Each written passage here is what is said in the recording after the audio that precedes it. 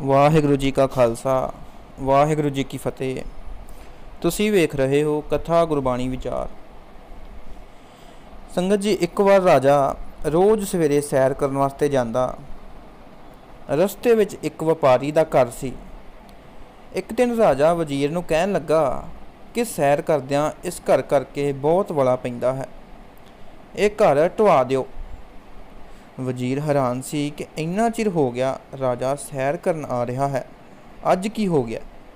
ਵਜ਼ੀਰ ਨੇ ਇਹ ਗੱਲ ਸੁਣ ਕੇ ਟਾਲ ਦਿੱਤਾ। ਵਜ਼ੀਰ ਉਸ ਘਰ ਵਿੱਚ ਰਹਿੰਦੇ ਵਪਾਰੀ ਕੋਲ ਗਿਆ ਅਤੇ ਕਹਿਣ ਲੱਗਾ, ਸੱਚ ਦੱਸ ਕੇ ਤੂੰ ਕਦੇ ਰਾਜੇ ਬਾਰੇ ਬੁਰਾ ਤਾਂ ਨਹੀਂ ਚਿਤਵਾਇਆ?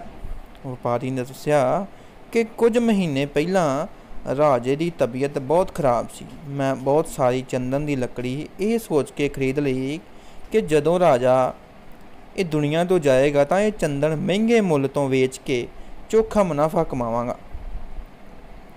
ਪਰ ਰੱਬ ਦੀ ਕਰਨੀ ਰਾਜਾ ਠੀਕ ਹੋ ਗਿਆ। ਮੇਰਾ ਪੈਸਾ ਫਸ ਗਿਆ। ਮੈਂ ਰੱਬ ਅੱਗੇ ਰੋਜ਼ ਅਰਦਾਸ ਕਰਦਾ ਹਾਂ ਕਿ ਰਾਜਾ ਇਸ ਦੁਨੀਆ ਤੋਂ ਜਲਦੀ ਚਲਾ ਜਾਵੇ। ਵਜ਼ੀਰ ਕਹਿਣ ਲੱਗਾ, ਤੇਰਾ ਰਾਜੇ ਪ੍ਰਤੀ ਬੁਰਾ ਚਿਤਵਾਨ ਕਰਕੇ ਰਾਜੇ ਦੇ ਮਨ ਵਿੱਚ ਵੀ ਤੇਰੇ ਪ੍ਰਤੀ ਬੁਰਾ ਆ ਗਿਆ ਹੈ। ਤੇ ਹੁਣ ਉਸ ਨੇ ਤੇਰਾ ਘਰ ਢਾਣ ਦਾ ਹੁਕਮ ਦਿੱਤਾ ਹੈ। ਵਜ਼ੀਰ ਨੇ ਕਿਹਾ ਕਿ ਮੈਂ ਕੁਝ ਚੰਦਨ ਦੀ ਲੱਕੜੀ ਖਰੀਦ ਲੈਂਦਾ ਹਾਂ ਤੇ ਹੁਣ ਤੂੰ ਹਰ ਰੋਜ਼ ਪ੍ਰਮਾਤਮਾ ਅੱਗੇ ਰਾਜੇ ਦੀ ਚੜ੍ਹਦੀ ਕਲਾ ਵਾਸਤੇ ਅਰਦਾਸ ਕਰਿਆ ਕਰ।